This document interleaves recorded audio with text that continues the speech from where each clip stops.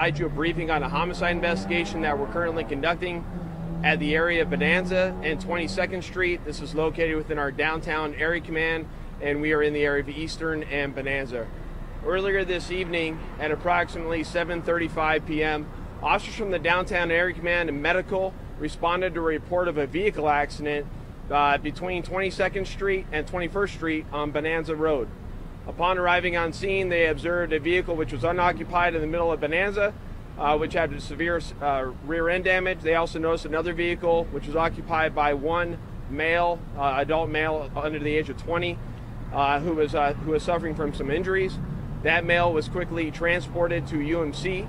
While en route to UMC, the medics at UMC and on the uh, paramedics on the ambulance noticed that he had a gunshot wound he was treated for that gunshot wound at UMC, and unfortunately, he was pronounced deceased.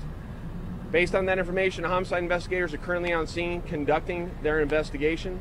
The information we have right now is very preliminary, but what we do know is that the uh, we believe the this incident is tied to a shot spotter that we received in the area of 13th and Mesquite.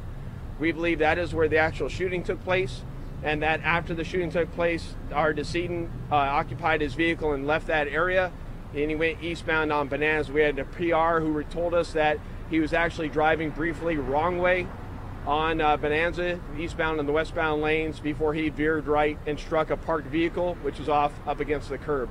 And that's where the vehicle came to rest at 22nd and Bonanza. That is preliminary information that we have right now. I urge anyone with any information related to this call to please contact Crime Stoppers. You can remain anonymous, and there is reward money available or call, contact the LVMPD homicide section. For the community members that are in the area, right now we do have Bonanza shut down both eastbound and westbound from about 23rd Street up to Bruce.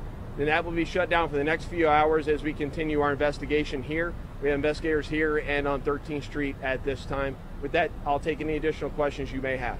Any relation to the vehicle that he struck? No, the vehicle that was uh, the unoccupied white Toyota Celica, we believe was just parked on the side of the road and just happened to be parked there uh, uh, by by another citizen uh, prior to being struck. And so no no suspects are being detained or in custody right now. At, at this time, there is no one related to this event that is arrested or detained uh, that we know. We have zero suspect information at this point in time, but it is very early in the investigation. And were they shot just once, or do they have multiple? Uh, right now, we're still getting to the hospital and getting that information right now, but I can confirm he does have a gunshot wound. And you said a male under 20? It? Yes, it's an adult male under 20. Any uh, relation between the two victim and uh, suspect? We have no suspect information right now. Uh, we just got here on scene just a little bit ago. Uh, but right now, we don't know if there's a connection or not in that regard. But you believe the shooting took place possibly around 13th and Yes, we believe it is connected to a shot spotter uh, event that we had right around the same time in the area of 13th and Mesquite. All right, thank you very much, Jim. All right, you guys take care.